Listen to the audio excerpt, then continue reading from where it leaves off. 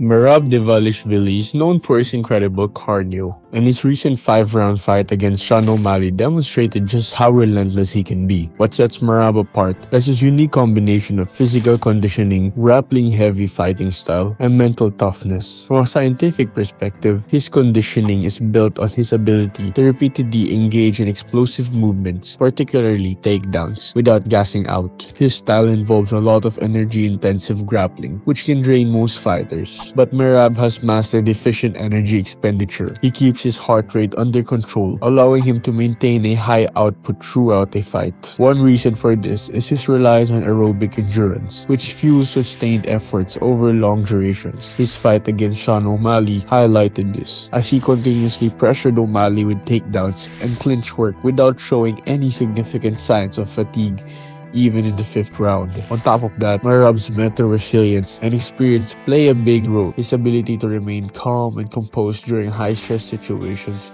is key to conserving energy. In his five-round bout, even when O'Malley landed hard shots, Merab stayed focused, responding with constant pressure that wore O'Malley down. The combination of physical conditioning, grappling focus, strategy, and mental toughness makes Merab's cardio exceptional compared to many other fighters. His relentless pace is hard for opponents to deal with, as O'Malley found out.